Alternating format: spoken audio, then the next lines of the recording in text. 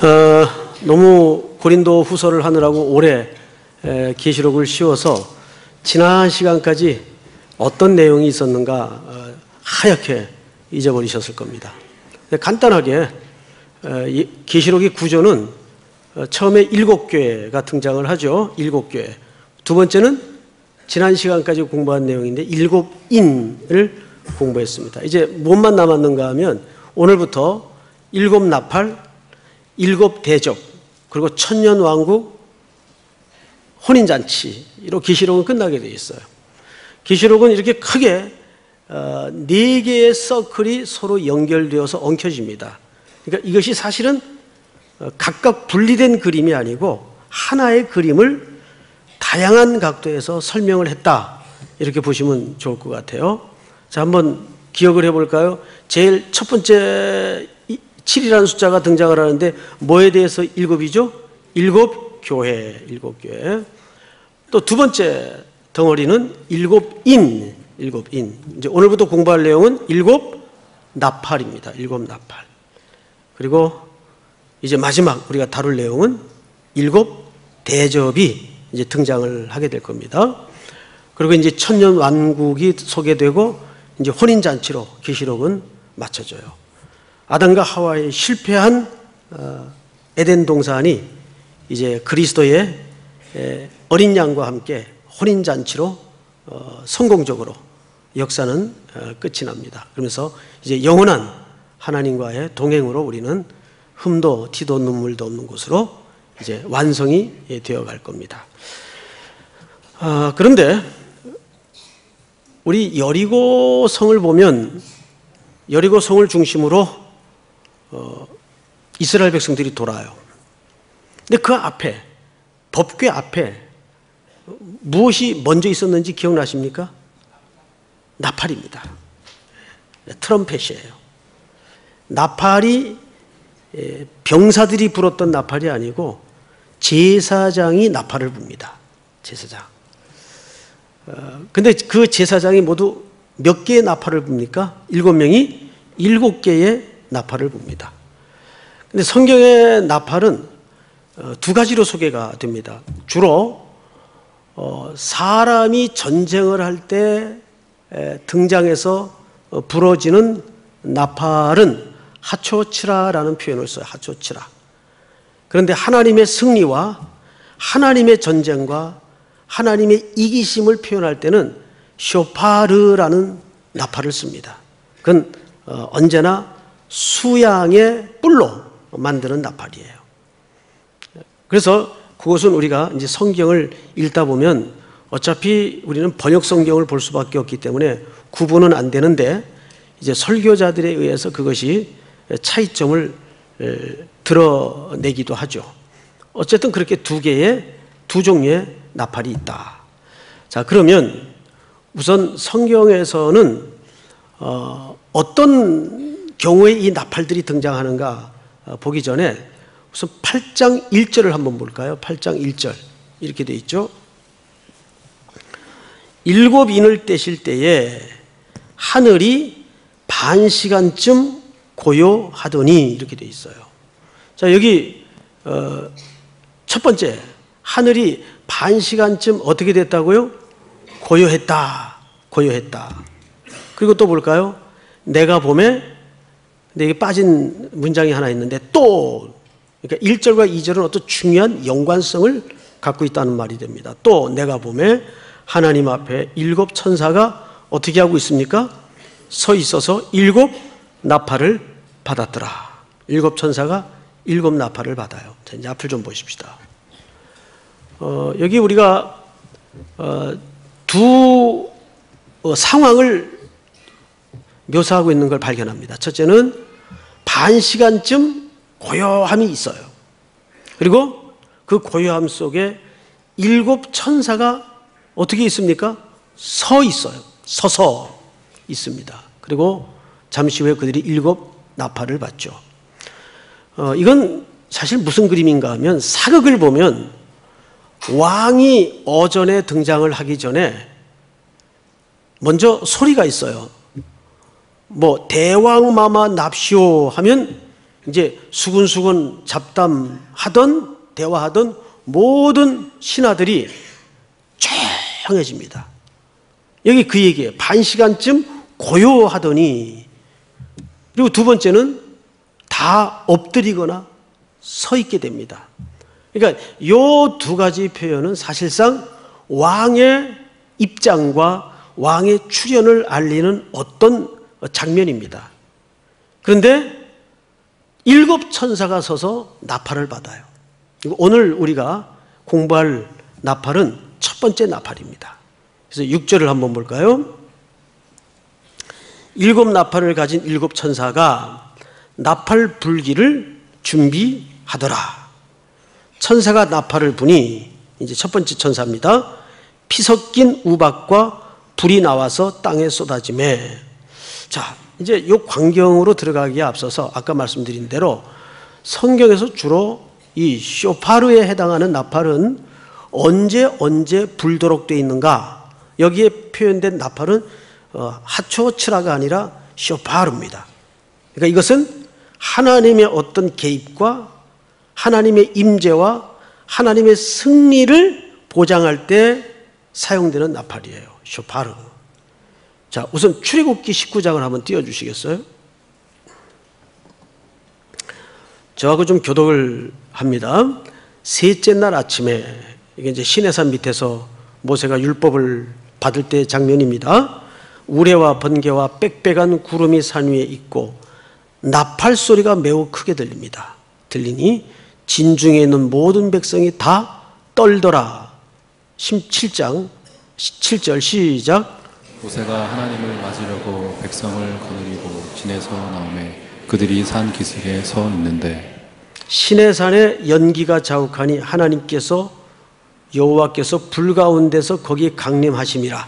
그 연기가 옹기까마 연기같이 떠오르고 온 산이 크게 진동하며 시작.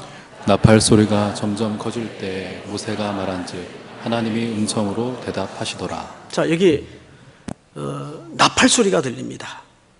어딘가에서 천상에서 울려 퍼지는 나팔 소리였던 것 같아요. 근데 그 소리와 함께 누가 임재하십니까? 예, 하나님이 임재하십니다. 그러니까 여기서 나팔의 의미는 사실상 하나님의 현현 또는 하나님의 임재를 얘기합니다. 그이 나팔이 참 멋있는 어, 악기예요. 이 트럼펫 부는 형제도 여기 계신데 네. 나팔이 참 멋있어요. 어 근데 두 번째 두 번째 민수기 10장을 좀 보십시다. 민수기 10장 여호와께서 모세에게 말씀하여 이르시되 은나팔 둘을 만들되 두들겨 만들어서 그것으로 회중을 소집하며 진영을 출발하게 할 것이라 시작 나팔 두 개를 불 때에는 온 회중이 회막문 앞에 모여서 내게로 나올 것이요. 하나만 불 때에는 이스라엘의 천부장된 지휘관들이 모여서 내게로 나올 것이며 시작. 너희가 그것을 크게 불 때에는 동쪽 진영들이 행진할 것이며 두 번째로 크게 불 때에는 남쪽 진영들이 행진할 것이라 떠나려 할 때에는 나팔 소리를 크게 불 것이며 시작 또 회중을 모을 때에도 나팔을 불 것이나 소리를 크게 내지 말며 그 나팔은 아론의 자손인 제사장들이 불지니 이는 너희 대대로 영원한 율례니라. 여기 누가 불도록 돼 있죠? 예, 병사들이 아니에요. 제사장들이 불도록 돼 있어요. 9절 시작. 또 너희 땅에서 너희가 자기를 압박하는 대적을 치러 나갈 때에는 나팔을 크게 불지니 그리하면 너희 하나님 여호와가 너희를 기억하고 너희를 너희의 대적에게서 구원하시리라. 아까 출애굽기에서는 이 나팔의 의미가 하나님의 임재였어요. 임재. 근데 하나님이 왜 임재하실까요?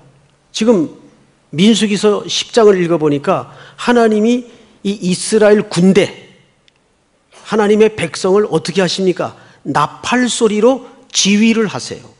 즉, 통치를 하신다 그 말이에요. 나팔 소리가 어떻게 제사장들에 의해서 부러지느냐에 따라서 나아가기도 하고 천부장만 나오기도 하고 물러서기도 하고 뭘로 움직입니까? 나팔 소리로 움직이는 거예요. 즉 이 말은 하나님의 철저한 통치를 얘기합니다. 그리고 세 번째 여호수아서 6장을 한번 띄워 주시겠어요? 20절. 20절 다 같이 한번 읽겠습니다. 시작. 이에 백성은 외치고 제사장들은 나팔을 불매 백성이 나팔 소리를 들을 때 크게 소리질러 외치니 성벽이 무너져 내린지라 백성이 각기 앞으로 나아가 그 성에 들어가서 그 성을 점령하고 자, 여기 정확하게 이스라엘 병사들이 여리고 성을 돌 때에 법궤 가장 맨 앞쪽에 병사가 서 있었습니까? 제사장이 서 있었습니까? 제사장이 일곱 나팔을 붑니다. 이건 뭘 얘기할까요? 그러니까 이 여리고성은 무슨 뜻이냐면 총칼로 싸워서 뺏은 함락한 성이 아니란 뜻입니다. 이 나팔은 두 가지라 그랬어요. 하나님의 임재와 하나님의 통치를 말한다 그랬습니다. 그렇다면 이 가나안 땅에 가장 어쩌면 난공불락의 성이었던 요새와 같은 여리고성을 누가 주셨다는 얘기일까요? 하나님이 주셨다는 얘기가. 그 사인으로서 뭡니까? 나팔을 부는 거예요.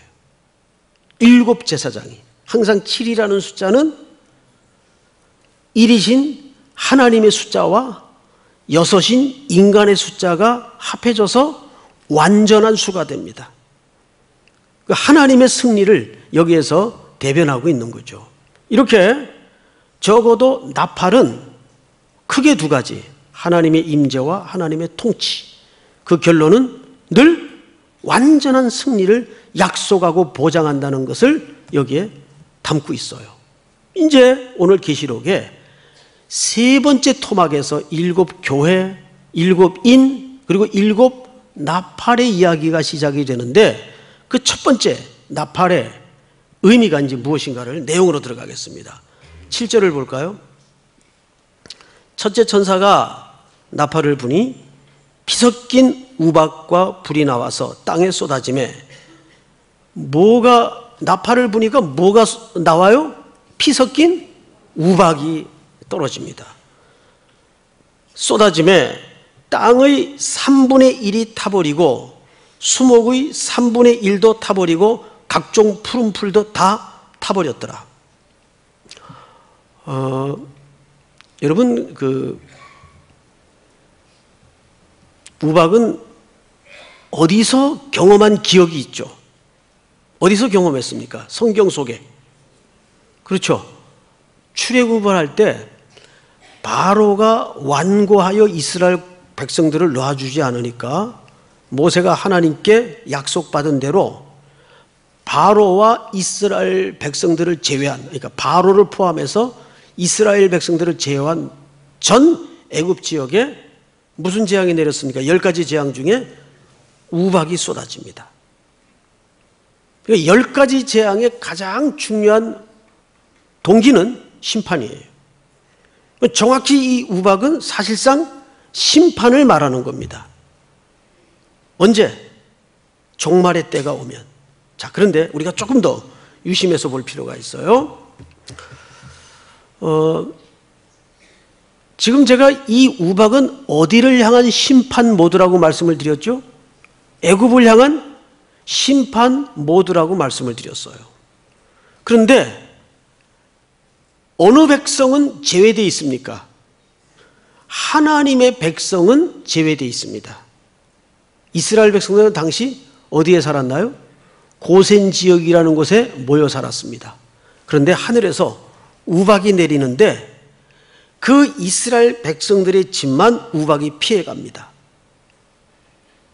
그러니까 이 심판은 하나님을 대적하는 자들에게는 뭡니까? 심판이에요. 동시에 심판임과 동시에 하나님의 백성들에게는 뭡니까? 구원이에요. 그렇죠? 이들이 심판을 받음으로써 우리의 구원이 완성이 되면서 온전해지고 완전해진다는 의미입니다. 그러니까 항상 재앙에는 두 가지 이면이 감춰져 있습니다. 심판과 동시에 뭡니까? 구원입니다. 믿습니까? 자, 그런데 오늘 본문을 잘 보시면 7절을 다시 보세요. 이렇게 되어 있습니다. 첫째 천사가 나팔을 부니 피 섞인 우박과 불이 나와서 땅에 쏟아짐에 땅에 3분의 1이 타버립니다. 자, 앞을 보실까요? 여러분, 3분의 1이 탔다는 것은 완전히 탔다는 얘기입니까? 부분적으로 탔다는 얘기입니까? 그렇죠. 부분적으로 탔다는 얘기예요. 부분적으로 탔다는 얘기가 갖는 의미가 뭘 것 같습니까? 아직 기회가 있고 여지가 있다는 얘기예요.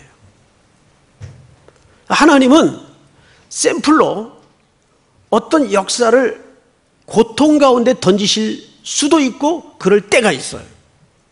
이 민족의 역사도 보면 그런 역사가 뜨문뜨문 상기됩니다. 그런데 그때마다 그때마다 백성들이 대우각성하고 돌아오고 회개하는 역사가 일어났어요. 사실은 성경의 이스라엘을 축으로 한 모든 역사가 그 패턴을 벗어나지 않습니다. 우리가 오전에 시편 37편을 살펴보았듯이 주의 백성들이 넘어지나 아주 엎드러지지 아니하면 여호와의 손이 그들을 붙들미라. 그러니까 하나님은 3분의 1을 땅을 태워버렸다는 것은 아직도 그들에게 돌아올 기회를 남겨놓고 있다는 하나님의 여지를 여기서 설명하고 있는 거예요. 자, 어, 이사야서 28장 17절을 한번 띄워주시겠습니까? 같이 한번 읽겠습니다. 시작. 나는 정의를 측량줄로 삼고 공의를 저울줄로 삼으니 우박이 거짓의 피난처를 소탕하며 물이 그 숨는 곳에 넘칠 것인즉 이것만 보면 정확히 이것은 뭐에 대한 그림이죠? 심판에 대한 그림이에요. 하나님의 공의가 어느 역사건 어느 사건에건 적용이 되고 살아 있습니까? 안 살아 있습니까? 살아 있습니다. 저는 그렇게 믿습니다. 불꽃 같은 하나님의 눈앞에 피할 인생이 없고 피할 역사가 없어요. 서로 인간은 그것을 끝까지 단죄하지 못하고 들추어내지 못할지라도 하나님의 시선은 피할 수가 없어요. 오늘 이 이사야서 28장만 보면 하나님의 이 공의는 하나님의 정의는 물처럼 흘러서 어느 역사건 하나님의 지인의를 반드시 드러내게 되어 있습니다. 저는 그 사실을 믿습니다. 우리는 또 그 사실을 믿어야 합니다. 이 땅에 가장 공고함과 어려움이 있다면 억울함일 거예요. 억울함. 억울함은 많은 심령들에게 깊은 상처가 됩니다. 그런데 그것을 다 또렷하게 드러내고 밝힐 수는 없어요. 우리 인간 세상에서는 그게 한계가 있어요. 그래서 그 로마 전쟁사에 보면 피로스의 승리라는 말이 있어요. 근데 그게 사실상 승리가 아니라 사실상 패배를 얘기하는 거예요. 로마 제국과 한 나라가 붙는데 이 피로스가 얼마나 전쟁을 잘하는지 계속 로마를 이깁니다. 이기는데 로마는 더 센 병력을 충원해서 계속 싸움을 걸어와요. 근데 계속 이깁니다. 그런데 나중엔 져요. 왜? 다 소진이 돼가지고 여기는 너덜너덜해진 거예요. 이것이 피로스의 역설적인 승리입니다. 세상의 구조는 그렇게 돼 있어요. 그래서 이 땅에 그리스도인으로 사는 모든 백성들은 좌절하고 낭망하고 주저앉죠. 그럴 때마다 우리는 방금 주께서 말씀하신 대로 나는 정의를 측량줄로 삼고 공의를 저울추로 삼으니 우박이 거짓의 피난처를 소탕하며 물이 그 숨은 곳에 넘칠 것인지 물을 피할 공간이 있을까요? 물이 한번 넘쳐버리면 구석구석 다 스며듭니다. 그래서 여러분, 겪은 사람들은 그러더라고요. 물보다 불이 무서운 것 같지만 당해보면 물이 진짜 무섭다고. 그래요. 물이 진짜 무서워요. 저는 물에 한번 빠져 죽을 뻔했던 일이 있어서 지금도 수영을 못해요. 물이 너무 무서워요. 그 산동네에 살 때인데 8월, 7월 된 것 같아요. 장마가 와서 비가 쏟아지는데 새벽에 비가 쏟아지는데 그 산길 언덕으로 산에서부터 그 빗물이 콸콸콸콸콸 골목길을 막 쓸, 쓸어 내려가는 거예요. 그럼 그 당시 산동네 지은 집이래야 그거 뭐 제대로 지었겠습니까?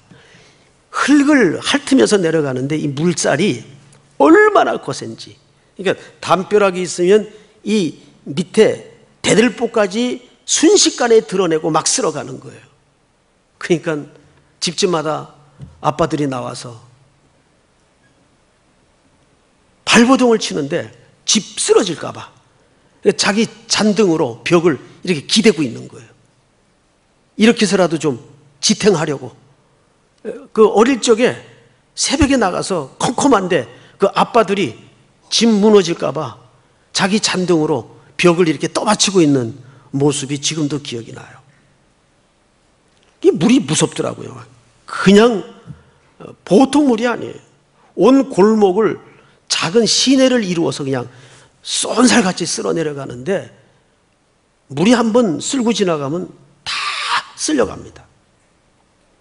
그런데 오늘 하나님의 정의와 하나님의 공의가 어떻게 그렇게 한다는 얘기입니까? 우박을 내려서, 우박을 내려서. 그렇게 한다는 거예요. 그런데 이것은 정직하게 누구를 향한 심판인가 하면 애굽을 향한 심판이에요. 이스라엘 공동체를 놔주지 않고 완고하게 고집을 부리던 바로와 그 백성들을 향한 심판이었어요. 동시에 이 심판은 누구에겐 점점 다가오는 그림의 구원의 완성일까요? 이스라엘 백성들에게 다가오는 구원의 그림입니다. 우리에게는 궁극적인 심판이 있을 수가 없어요. 왜? 그 모든 것을 어린 양이 대신 이루어 놓으셨기 때문입니다. 믿습니까? 자, 성경을 또 보십시다. 출애굽기 7장 14절을 한번 띄워 주실까요? 여호와께서 모세에게 이르시되 자, 다 같이 시작. 절하는도다. 어, 7장을 먼저 한번 다시 보십시다. 7장만. 여호와께서 모세에게 이르시되 바로의 마음이 완강하여 백성 보내기를 거절하는도다. 이제 9장 띄워 주세요. 다 같이 읽겠습니다. 시작. 여호와께서 모세에게 이르시되 너는 하늘을 향하여 손을 들어 애굽 전국의 우박이 애굽 땅의 사람과 짐승과 밭의 모든 채소에 내리게 하라. 자, 오늘 요한계시록에 나오는 그림하고 정확히 일치하죠? 그러니까 이것은 바로를 그리고 애굽을 묘사하는 것 같지만 사실은 이 당시 바로와 이 당시 애굽은 세상 전체를 대변하는 하나의 아이콘 같은 상징적 존재였어요. 그래서 땅의 3분의 1. 아직은 부분적인 심판입니다. 그리고 그 심판은 자연계에 국한되어 있다는 것을 우리가 금방 살펴볼 수가 있죠. 자, 이건 뭘까요? 3분의 1이라는 것은 아직은 부분적이면서 동시에 그 심판의 대상이 아직은 자연계에만 국한되어 있다는 얘기예요. 그런데 사실 지금 보시면 이 시대가 어떻습니까? 자연계에 나타나는 여러 가지 부메랑 효과의 재앙의 그림자를 보면서 우리는 가공할 만한 전율을 느낄 때가 많죠. 제일 먼저 물의 오염, 공기의 오염. 물, 공기는 우리 인간이 생존하는데 필수적인 본질이에요. 근데 지금 이것들이 다 오염되고 망가지고 있습니다. 인간의 욕망과 탐욕에 의해서 이런 것들이 전부 다 지금 무너지고 있어요. 저는 이것도 재앙이라고 봅니다. 한 번은 저 깊은 산 쪽, 쪽으로 이제 기도원을 좀 올라가는데 산깃을 이렇게 돌아서니까 아무도 없는데 토요일 저녁인데 트럭 한 대 위에다가 물통이 개 빼곡이 실려 있고 어떤 남자분 둘이가 그 검증도 되지 않은 그 지하수에서 그 물을 뽑아다가 통에다가 막 실는 거예요. 그래서 그 차가 가로막고 있기 때문에 더 앞으로 진전할 수가 없어서 내려가지고 그 작업 다 끝날 때까지 기다렸어요. 그래야 저도 이제 지나서 목적지까지 갈 수 있으니까. 내려가지고 그 광경을 봤어요. 그래서 그 인부 한 분에게 물어봤습니다. 이건 뭐 하려고 이렇게 물을 담는 겁니까? 그랬더니 아니 몰라서 물어요. 그냥 팔, 팔라 그러는 거죠. 그 아무 정화도 안 된 것. 그 아무 산길석에나 그냥 말 그대로 산에서 나오는 물뿐이에요. 근데 그거를 거기다가 막 퍼담아 가지고 결국은 그걸 판다는 거죠. 그러니까 안 봐도 어떤 일이 벌어지고 있는 걸 알죠. 얼마 있다 하니까 뉴스에 그런 불법 생수업자들의 이야기들이 고발되어서 또 은팔찌 차고 어, 들어가고 하더라고요. 이런 것들이 사실은 우리 인간의 모든 병든 마음, 탐욕에서부터 시작되는 사소한 행위들입니다. 처음은 사소하게 진행이 되지만 저는 제일 나쁜 게 그 폐수를 모든 사람들이 먹는 그 수원지에다가 막 쏟아내는 사람들이 있죠. 지금도 그런 사람들이 있다 그래요. 근데 그게 다 누가 먹겠습니까? 천만 서울 시민이 먹잖아요. 그 물을 뭐 아무리 정화를 한다 그래도 이게 얼마나 깨끗해지겠습니까?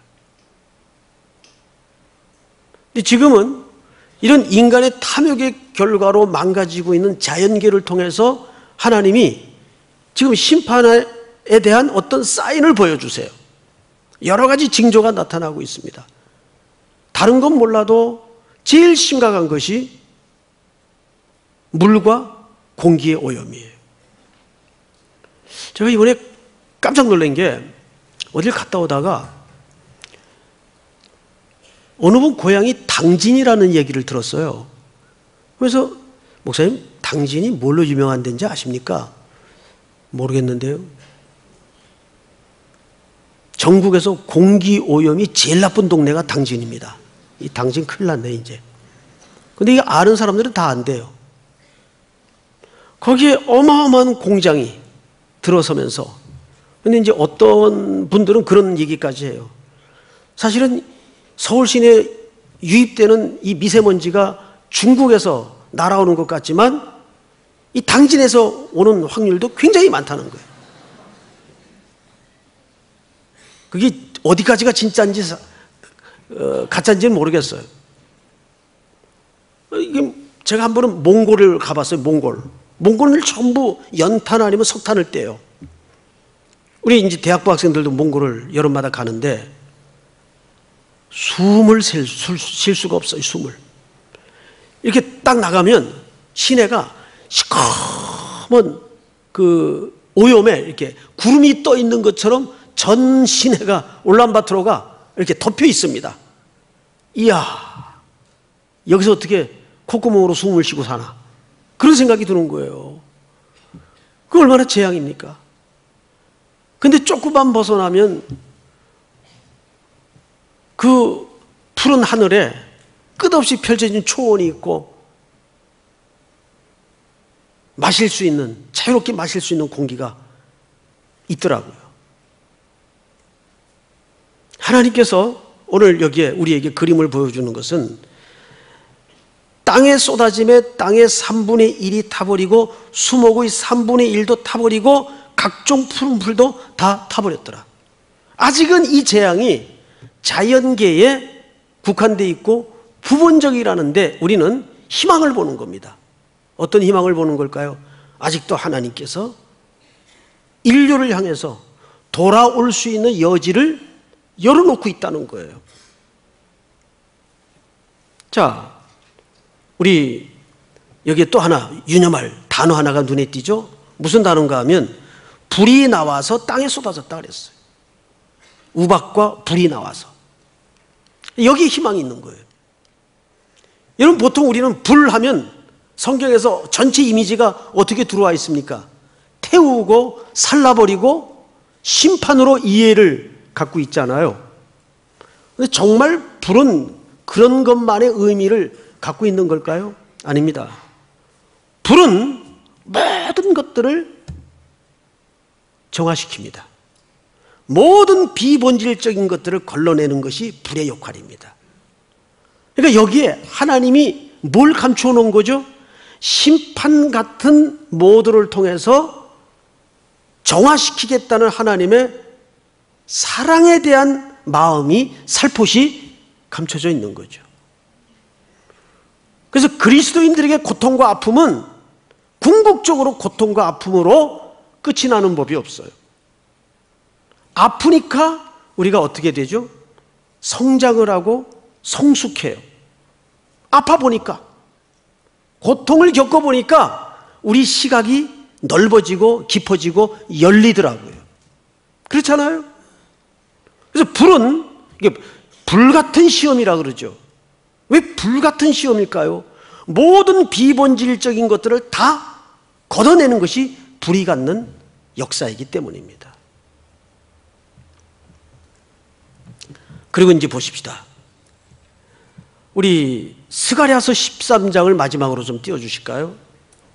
자, 7절부터 저하고 10절까지 교독을 좀 할 텐데요. 천천히 같이 읽읍시다. 만군의 여호와가 말하노라 카라 깨어서 내 목자 내 짝된 자를 치라. 목자를 치면 양이 흩어지려니와 작은 자들 위에는 내가 내 손을 들이우리라. 시작. 여호와가 말하노라 이 온 땅에서 3분의 2는 멸망하고 3분의 1은 거기 남으리니. 내가 그 3분의 1을 불 가운데서 던져 은같이 뭐하죠? 연단하며 금같이 그렇죠. 그러니까 이 심판도 결국은 하나님의 극률이 여기시는 하나의 방법이에요. 그 다음에 보십시다. 그들이 내 이름을 부르리니 내가 들을 것이며 나는 말하기를 이는 내 백성이라 할 것이요. 내 백성 아니면 이런 은같이 재련하고 금같이 시험하는 과정을 둘 필요가 없어요. 그냥 멸망시켜버리고 맙니다. 그렇잖아요? 그들은 말하기를 여호와는 내 하나님이시라 하리라. 10절. 다 같이 시작. 아, 없군요. 죄송합니다. 10절이 없어. 여기까지입니다. 여기까지. 할렐루야. 자, 우리 다시 기억하십시다. 오늘 본문은 크게 나팔이 등장을 해. 첫 번째 이네. 첫 번째 나팔이 등장을 해. 이 첫 번째 나팔이 빵 하고 불 때 뭐가 쏟아져요? 우박과 피 섞인 우박과 불이 땅에 쏟아지면서 3분의 1이 타버립니다. 여긴 두 가지 의미가 있다 그랬어요. 제한적인 심판과 동시에 아직도 기회를 주시는 하나님. 그리고 그 심판은 아직은 뭐에 대한 심판입니까? 자연계에만 국한된 심판입니다. 그것은 하나님이 아직도 하나님의 택한 백성들이 돌아와야 될 길이 남아있기 때문에 주시는 첫 번째 천사를 통해서 주시는 첫 번째 나팔 소리입니다. 나팔 소리가 지금도 곳곳에서 우렁차게 울리고 있어요. 그리고 이 나팔 소리는 성경을 신뢰를 찾아보니까 첫째는 하나님의 임재요, 하나님의 통치 방식임을 우리가 깨달았습니다. 매일매일 여러분들이 이 시대의 나팔이 되고 우리 삼일교회가 이 시대의 나팔이 되어서 주 앞에 복되게 쓰임 받는 또 한 주간이 될 수 있기를 주의 이름으로 축복합니다.